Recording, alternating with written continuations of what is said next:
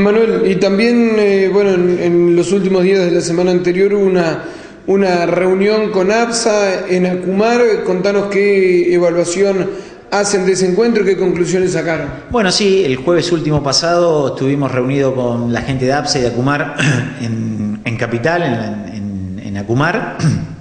Y bueno, creo que fue algo positivo porque eh, también el Consejo en su oportunidad se decidió enviar una carta de documento a APSA con toda la problemática que los vecinos venían este, manifestando también en el Consejo, habían traído fotos, videos, habían venido vecinos a algunas sesiones del Consejo manifestando esto, que bueno, desde el público conocimiento y se puede ver cómo en distintas eh, bocas va eh, emanando el, residuo cloacual y eh, también, también vecinos también manifestaban que dentro de las propiedades también ya estaba retornando este, estos residuos y bueno, se envió una carta primero a APSA para, desde el Consejo con toda esta preocupación, incluso también por el tema de que la oficina comercial atiende dos días, que a veces estos dos días eh, no se cumplen y bueno, también se pidió que esté todos los días eh, abierta y que puedan tener una información más con el vecino, que pueda tener dónde quejarse, dónde llevarse una, duda, o el que se le está rebalsando la cloaca, que pueda tener un lugar donde manifestar esto. Y bueno, eh, se mandó otra carta de documento, APSA, esa la contestó negando toda esta circunstancia, entonces decidimos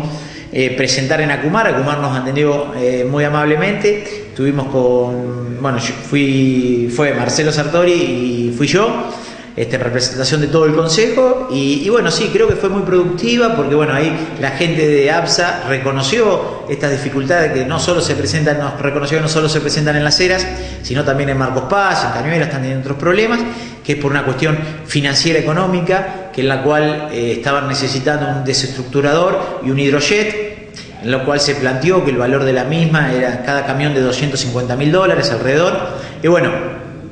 Acumar lo que planteó fue que la empresa APSA realice este, un estado de situación de todas General Las Heras dentro de los 10 días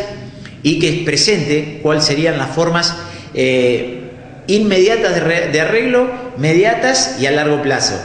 Porque todos sabemos que si Acumar podría financiar para la, no para generar las eras, porque eh, no estaría en la capacidad económica de un, y sobraría capacidad de estos dos camiones de envergadura como son, este, para la acera, pero sí para la cuenca alta, como se hizo en su momento con los camiones de recolección de residuos, bueno, hacer lo mismo con dos camiones para los cinco municipios que integramos la cuenca alta.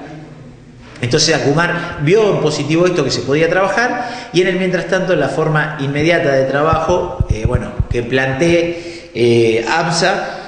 eh, cuántas horas se necesitarían estos camiones en general las eras, qué, costo tiene, que nos decía que alrededor de 1.800 pesos la hora cada camión está cobrando, y bueno, ver la forma que, pondría la empresa y qué podría poner a Cumar para poder llevar una solución a los vecinos que están preocupados estaban. Así que creemos que fue positivo porque pudimos charlar, conversarlo, plantearlo, eh, quedaron en compromiso con el departamento ejecutivo local que lo van a seguir trabajando, que lo que vienen realizando, también las quejas estas no solo fueron del, legislativo, también el ejecutivo viene realizando las mismas este, manifestación, así que bueno, en 10 días vamos a tener eh, una noticia, a ver cómo, cómo continuar, pero creemos que sí, es importante porque tenemos un avance de una carta documento que nos contestan, que eh, está todo bien y que no pasa nada en la acera, que tener esta reunión creo que fue más que positivo.